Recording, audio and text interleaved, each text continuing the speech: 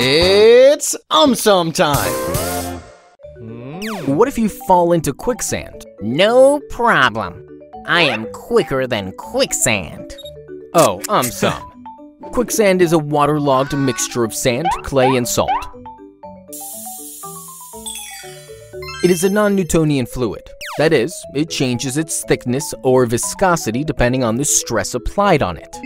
So, an undisturbed quicksand appears and acts like a solid. But when we step on it, our weight increases the stress. Hence, it starts behaving like a liquid, thus causing us to sink. However, we will not fully sink into quicksand. Why? Mm-hmm. Firstly, because quicksand is usually not very deep. Secondly, it is believed that quicksand is a bit denser than humans. So what? In an experiment, experts prepared aluminum beads which had similar density as humans.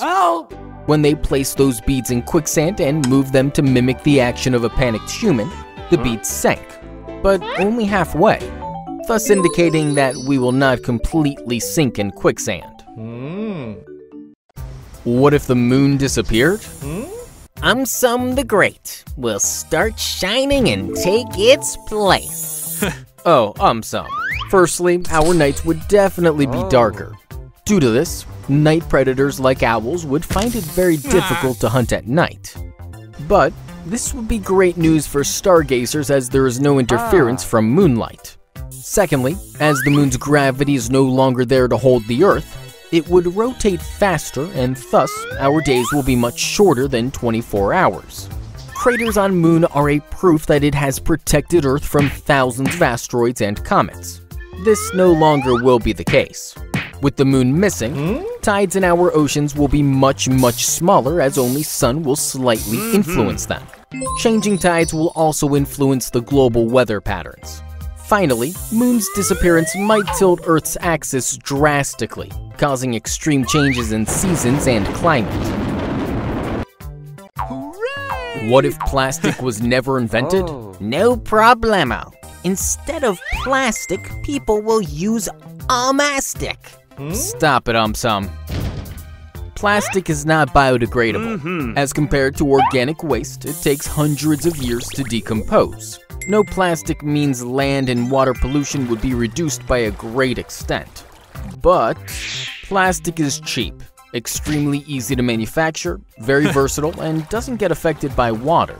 It would be very difficult to replace hmm. plastic. Glass and paper can theoretically replace plastic, but this would come at a grave cost. Firstly, it would prove to be expensive. Hmm. Secondly, as paper is made from trees, it can prove to be a disaster for the environment.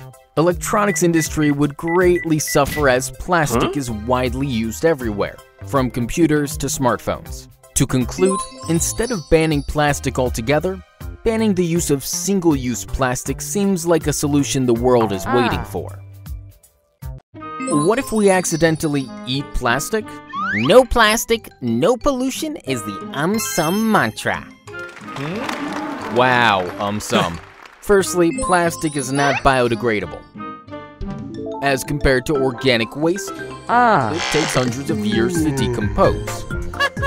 But if the quantity of swallowed plastic is small, then it will not be a problem. Hmm. Our body pushes out the materials which it cannot digest. Problems might hmm. occur if ah. the quantity of swallowed plastic is large.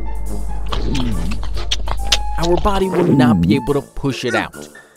It will stay in our gut and might partially prevent further food digestion. In extreme cases, this may also prove to be fatal. Also, many plastics are chemical laden. These chemicals are commonly known as phthalates. They are used to make plastics more flexible, transparent, ah. hard to break, as well as to increase their longevity. Phthalates are extremely harmful to our body. They can damage our liver, kidneys, lungs, and reproductive system.